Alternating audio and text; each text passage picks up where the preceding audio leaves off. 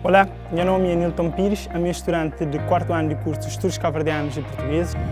Sou Ângela Gonçalves, aluna do curso Ciências da Comunicação. Eu sou Ricardo Soares, sou estudante do quarto ano do curso de Geografia e Ordenamento do Território.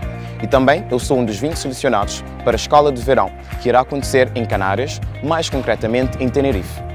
Esta mobilidade é muito importante porque permite alargar as fronteiras. Como sabemos, a internacionalização é um dos importantes pilares da UNICV. É uma oportunidade grande para nos enriquecer nossas competências a níveis de conhecimentos técnicos e científicos que o Estado está desenvolvendo dentro da universidade já há vários anos. O meu real objetivo em fazer essa candidatura é colocar em prática todos os meus conhecimentos adquiridos desde o meu primeiro ano de universidade. Podemos aprender novas coisas que podemos trazer para Cabo Verde de forma a desenvolver o nosso país. E também consigo ter um grande ambiente cultural, um ambiente que nos promove e nos desenvolve nossas competências que do estar a desenvolver durante nosso percurso dentro da universidade. Então as expectativas são as melhores porque queremos aprender e queremos também trazer essas experiências práticas para fazer com que o nosso país seja beneficiado cada vez mais. Universidade de Cabo Verde constrói aqui o teu futuro.